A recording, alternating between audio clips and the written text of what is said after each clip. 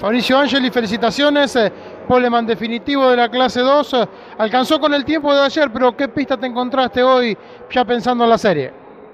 Sí, muchísimas gracias. La verdad que no se podía bajar el tiempo, sabíamos que iba a ser difícil, era una muy buena vuelta, inclusive si no había viento, pero bueno, eh, la condición de pista que ya cuando nos levantamos nos dimos cuenta que había muchos kilómetros de viento encima en contra para la parte de recta, así que era difícil que se pudiera bajar el tiempo. Eh, miramos las primeras vueltas de los rivales y nos dimos cuenta que no, que perdían mucho en los parciales de recta, así que directamente dimos media vuelta y nos guardamos porque no tenía sentido gastar el auto.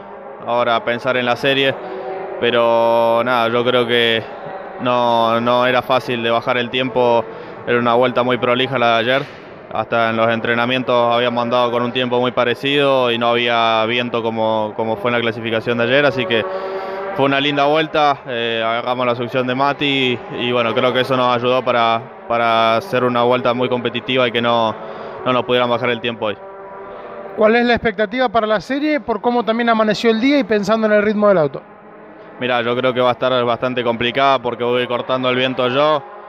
Van a salir todos a agarrar la succión, van a trabajar todos juntos y bueno, se me van a venir obviamente en los parciales de recta, pero bueno, tenemos que buscar que salir bien a la recta, salir lo más rápido que se pueda para despegarnos, hacer una luz y que no me agarren la chupada. Y bueno, de ser así, creo que vamos a poder hacer una buena serie y si no, tratar de defender la posición lo mejor que se pueda. Fabricio, gracias por estar eh, en Mundo Sport y que sea con éxito el resto del fin de semana.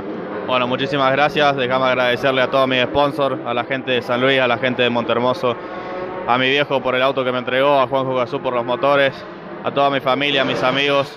Gracias a todos ellos y esto es para ellos.